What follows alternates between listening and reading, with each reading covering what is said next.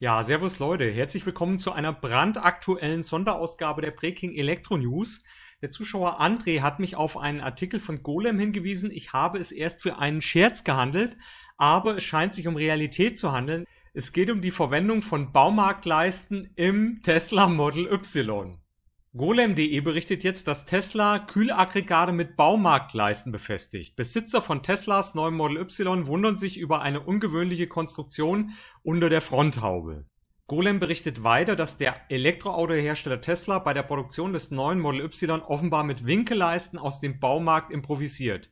Mehrere Besitzer des neuen SUV zeigten in einem Tesla-Forum entsprechende Fotos.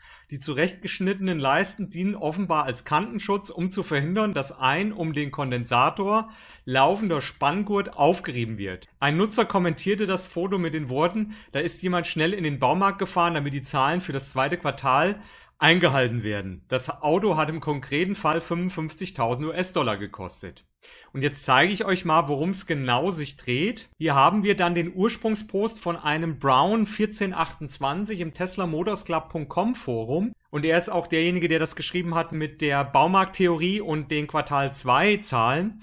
Wir sehen also hier diesen Kondensator, einen Spannring und hier eindeutig Fußleisten oder äh, Baumarktleisten, um zu verhindern, dass dieser Spanngurt hier, der wahrscheinlich Vibrationen verhindern soll, dass der durch die scharfen Kanten des Kondensators aufgerissen oder aufgerieben wird. Hier hat dann ein weiterer User den Kondensator in seinem Model Y gepostet und er hat ebenfalls diese Fußleisten als Kantenschutz. Der nächste User, der eine entsprechende Lösung in seinem Model Y gepostet hat. Und dass Tesla hier auch ein bisschen Geschmack zeigt und auch entsprechend vermutlich der Innenausstattung die Farben der Leisten variiert, sieht man hier in einem weiteren Post. Hier schreibt der User, ein Moment, ich habe das auch, aber es sieht aus, als hätte ich die Leisten in der weißen Ausstattung bekommen. Vielen Dank, Home Depot. Und hier sehen wir dann, wie das eigentlich aussehen sollte. So habe ich das zumindest verstanden in dem Forum. Hier wird ein weißer Kantenschutz aus Kunststoff verwendet und keine Fußleiste.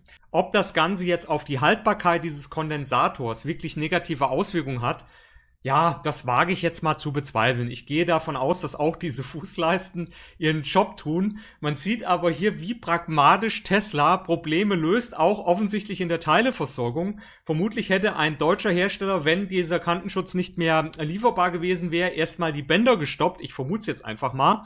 Ähm, aber Tesla geht her, geht zu Home Depot, jetzt mal übertrieben gesagt, und sagt, ich hätte gern einen ganzen Satz von Fußleisten und löst damit dieses Problem. Jetzt kann man sich auf der einen Seite darüber ärgern als Tesla Model Y Besitzer. Ich muss sagen, ich muss eher darüber schmunzeln, weil wie gesagt, es ist ja kein wirklich schlimmes Problem, was hier auftritt, sondern es ist eine pragmatische Lösung, die man auch nicht sieht denn dieser Kondensator ist unter dem Kunststoff des Franks verdeckt. Das heißt, man kann das im Alltag gar nicht sehen.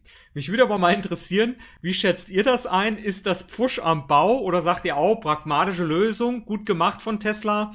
Und äh, das Holzdekor mag ja sogar dem Model Y halbwegs stehen, auch wenn man es im Alltag nicht sieht. Das würde mich also mal interessieren. Schreibt das mal unten in die Kommentare. Ich auf jeden Fall habe erstmal herzlich gelacht, als ich das gelesen habe. Da auch nochmal vielen Dank an den Zuschauer Antritt, der mir diese Nachricht geschickt hat. Ansonsten soll es das schon für die kurze Breaking Electro News Ausgabe gewesen sein. Wenn ihr Fragen habt, Anregungen oder Kritik, wie immer unten gerne in die Kommentare. Wenn es euch gefallen hat, lasst einen Daumen hoch da und ein Abo ist ja wohl obligatorisch oder wollt ihr die nächste brandheiße Ausgabe der Ben verpassen?